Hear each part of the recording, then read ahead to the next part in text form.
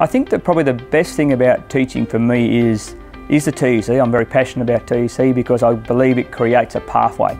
There's so much more opportunity for young adults to create a pathway in any direction they want.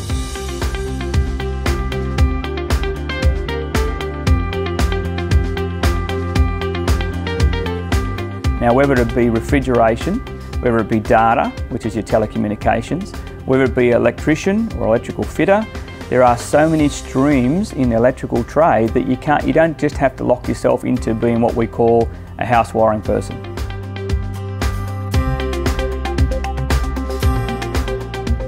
As a first year apprentice, you walk onto the job and they will already have, oh, what is a batten holder?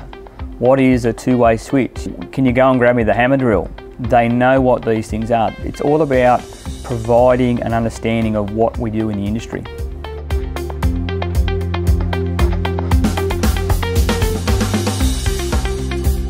We find that the employees ring us and say, you know, have you got any good TEC kids or any pre-app kids?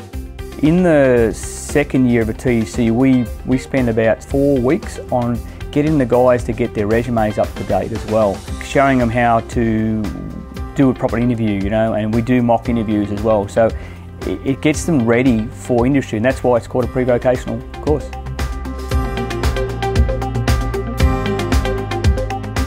Another module we do which is identify components as well. Right from, you know, you turn up to work on a house, oh, who decided where the lights are going? Well, that's all done on a plan. So they have to do that.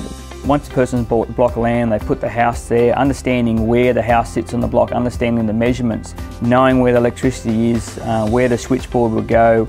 We teach you to understand the circuit diagram, which is where you run all your wires in your house, and this is all simulated. Then you cut the plaster out, then you fit it off, and then we test it. So they're getting some real good basic skills that the employee wants out there.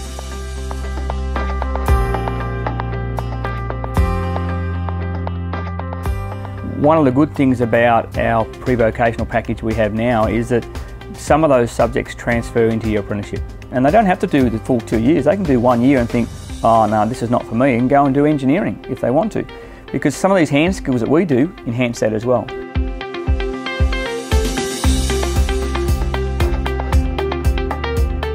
Have a go at it. Yeah, they're, they're, that's why, while you're still at school, and that's a good thing about the TEC package, while you're at school, if you do the TEC and you get a taste for it and you've got support from both school and TAFE, you could you can get there.